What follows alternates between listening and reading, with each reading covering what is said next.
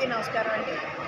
ఈరోజు జనసేన పార్టీ అధినేత శ్రీ పవన్ కళ్యాణ్ గారు రాజమహేంద్రవరం రైతన్నలకు భాస్కరి నిలపడం కోసం అకాల వర్షాల వల్ల రైతు ధాన్యం నష్టపోయి ఈరోజు రాసిన లెక్క రోడ్ల మీద ఉంటే వైసీపీ గవర్నమెంట్ మొద్దు నిద్రపోతుంది.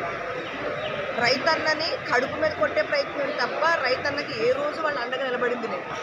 జగన్మోహన్ రెడ్డికి తన పదవుల్ని తన పార్టీని తన నాయకుల్ని మన మీద ఉన్న కేసులు కాపాడుకోవడం తప్ప తను గెలిపించినటువంటి ప్రజలకి ఏ రోజు తను ఉపయోగపడలేదు. అంతేకాకుండా రైతు బాగుంటేనే రాష్ట్రం బాగుంటుందని మనం అది ఎవరైనా సరే తెల్లారితే దుప్పుడు మెతుకుల కోసం నాన్న కష్టాలు పడతాం.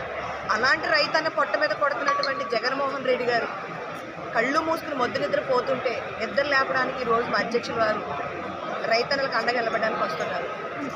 ధాన్యం కొనుగోలు వర్షాల ముందైతే కొనలేదు కానీ పవన్ కళ్యాణ్ గారు రాజమండ్రి ఇచ్చేస్తారని తెలియగానే నిన్న పది గంటలకి మాకు విషయం తెలిసింది కళ్యాణ్ గారు వస్తున్నారు అని తెలియగానే అర్ధరైతులు మద్దుల ధర అంటూ వాలంటరీ వ్యవస్థ గౌరవ సచివాలయం వ్యవస్థ అంతా కలిపి గోను సంచిలో బత్తాలు దొంగల మాదిరిగా పీకాలవరం రోడ్డు మీద రైస్ ఉంటే ధాన్యం ఉంటే దాన్ని పాపం అప్పుడు కొనుగోలు చేయడానికి బస్తాలతో ఎత్తి ట్రాక్టర్ మీద ఎత్తి తోలుతున్నారంట.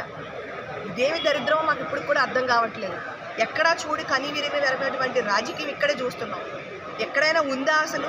అర్ధరాత్రిగా రైతులు రాత్రి పడుకునే పన్నెండు గంటలకు ధాన్యం కొంటారా అంటే ఇన్ని రోజుల నుంచి కొనాలి మీకు అనిపించింది అంటే పవన్ కళ్యాణ్ గారు వచ్చి తెలియట్లేదా? మరి ఇంకెందుకు నూట యాభై ఐదు నూట నూట డెబ్బై ఐదు నూట డెబ్బై వస్తా అంటారు? ఈ గుడ్డు నిద్ర పోయి పడుకోండి.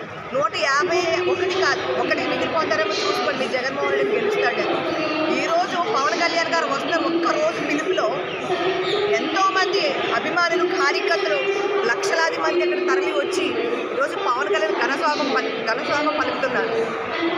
ఇదే మా విజయానికి మొట్టమొదటి రైతన్నకి అండగా నిలబడతారు పవన్ కళ్యాణ్ గారు. పవన్ కళ్యాణ్ గారు ఒకే ఒక వినాదం ఏంటి అంటే ఆయన చక్కటివైనటువంటి ఆయన సంపద చనిపోయాడని తెలిసి తల్లడిపోయి ప్రతి అన్నకి కూడా లక్ష రూపాయలు చొప్పున ఇచ్చేటువంటి నాయకుడు మా పవన్ కళ్యాణ్ గారు. జగన్మోహన్ రెడ్డి గారు ఏమైనా చేయగలిగితే ఫస్ట్ రైతన్నకి న్యాయం చేయండి. లేదంటే మేము చేయలేము అని చెప్పి దండం పెట్టి పక్కకు తప్పుకోవడం. రాబోయే ప్రభుత్వం జనసేన ప్రభుత్వం